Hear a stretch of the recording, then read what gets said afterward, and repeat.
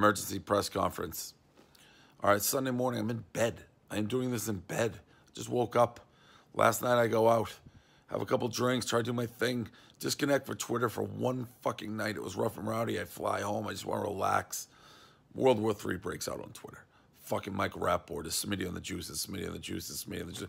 He's on the juice. Fucking Lewis said it. Everyone knows it. Who fucking cares? What are we talking about? How's that degenerate into fucking a real fucking argument with like KFC about him being an adulterer? Which, by the way, I don't fucking care. Insult KFC.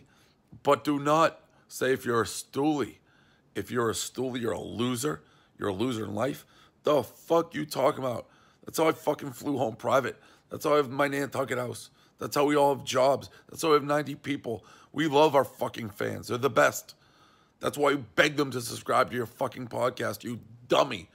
You fucking fired fuck. Of course you're fired. Rapaport, what the fuck do you think was to happen? You fucking say that being a stooly's dumb? No, you're dumb, you fucking dumb fuck. You can't have that. Can't insult our entire fucking fan base, the business that we've grown up. I'm in fucking bed. I haven't gone up. I'm not. I never fire people. I'm firing someone before I get out of bed. You fired fuck Rapaport. Just fucking keep your mouth shut sometimes. Jesus Christ, you fired fuck. Man. I haven't even gone about Sunday morning. Fired somebody. What's up, Stoolies? Emergency press conference. Michael Rapaport here. I woke up this morning. Some crazy news text message from Dave Portnoy. Um, what can I say? Listen, of all the days to be fired from Barstool, I just wanted to shout out everybody. Podcast is at number one. You know, we move on to greener pastures. Told these motherfuckers I was the Ric Flair of this shit. $100 million company, right?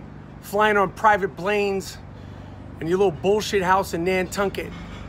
But you dumb motherfucker you didn't even think to change your password on Twitter?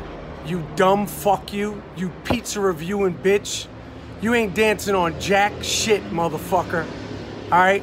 I'm the motherfucking Ric Flair of this shit. And I got real chest hair on my shit. I got real hair on my motherfucking head. And when I wake up on a Sunday morning, I don't wake up alone, motherfucker. I wake up next to something soft and motherfucking warm. I am Rapaport Stereo Podcast. Yo, peace to all the fans. Peace to everybody who rocks with the I Am Rapaport Stereo Podcast and me, Michael Rapaport. I'm out.